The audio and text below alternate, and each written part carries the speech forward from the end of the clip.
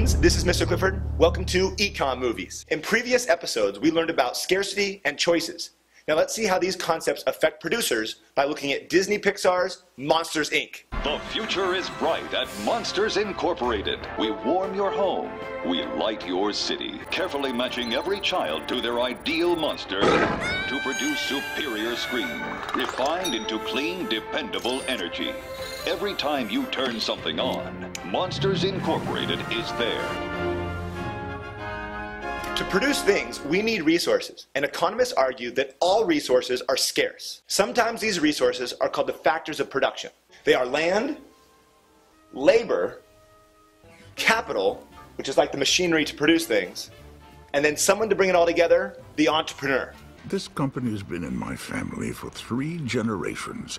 Economists like to explain the idea of scarcity by drawing something called the production possibilities curve. The PPC is a graph that shows how an economy can use its resources to produce two different goods. So let's assume that Monstropolis can only produce two different products, Scream Energy and sushi. This graph shows the production possibilities, the different combinations of the two goods that can be produced using all of their resources.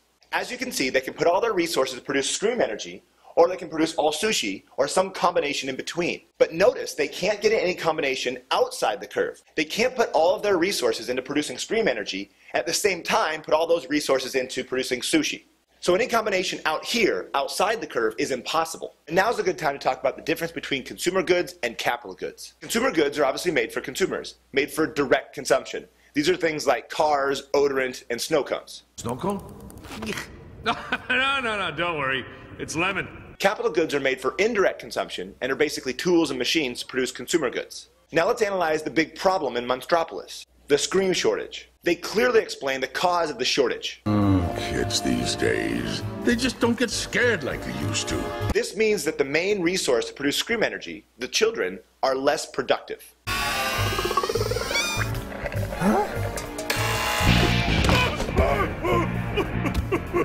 Happened? The kid almost touched me. She got this close to me. She wasn't scared of you? She was only six! I could have been dead. I could have died. Now, back to the graph. What happens to the production possibilities curve if a resource becomes less productive? The entire curve shifts inward. Now, you should be thinking to yourself, I can see why we're producing less scream energy, but why are we producing less sushi? The reason why is because scream energy is a capital good. It's a resource. If you don't have scream energy, you can't even run a restaurant. Without Scream, we have no power. Now, what if there was some new technology that made the resources that produce scream energy more productive? That is, what if there was a way to get more scream? Uh-oh. Uh-oh. Oh, come on. No, no, no, no, no, no. Come on. Hey, hey, hey, hey. The thing is moving. I don't like big moving things that are moving towards me. No, Randall. To the Scream Extractor. Hello. In this case, the production possibilities curve would shift outward. We can produce more of both goods. But at what cost? Scaring isn't enough anymore. But kidnapping children? I'll kidnap a thousand children before I let this company die, and I'll silence anyone who gets in my way. Well, it turns out that you don't have to kidnap children.